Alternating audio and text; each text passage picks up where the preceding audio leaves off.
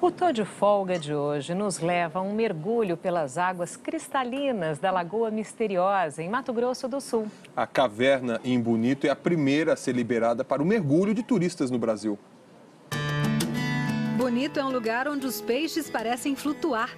A visibilidade dentro da água é a mesma do lado de fora. Maravilhoso, é. perfeito.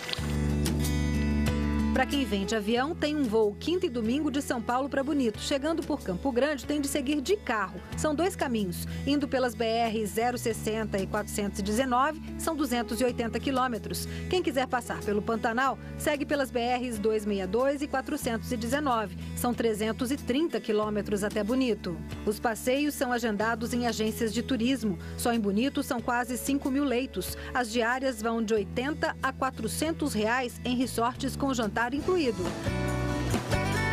Viajamos 52 quilômetros até Jardim, no Recanto Ecológico Rio da Prata. O transporte até os atrativos é pago à parte.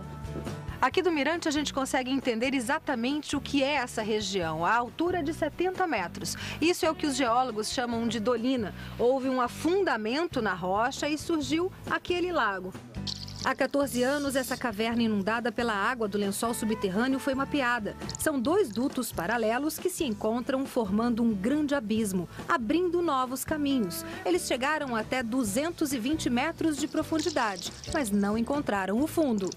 Roupas e equipamentos de mergulho estão incluídos nos preços do passeio. São no máximo 60 pessoas por dia em grupos de seis. A água é tão transparente que a visibilidade ultrapassa os 60 metros. E todo visitante mergulha acompanhado de um instrutor.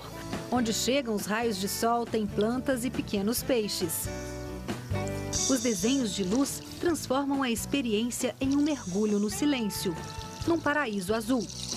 Na verdade, eu acho que é misterioso porque dá vontade de descobrir o que, que tem mais lá no fundo, né?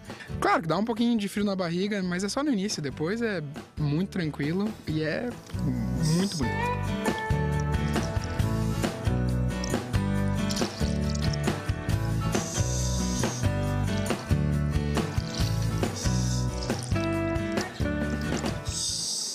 Todas as dicas de passeio do quadro Tô de Folga você encontra na nossa página na internet.